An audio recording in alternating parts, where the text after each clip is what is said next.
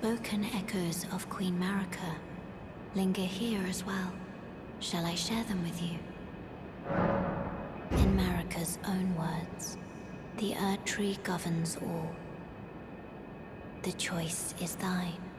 Become one with the Order, or divest thyself of it, to wallow at the fringes, a powerless upstart.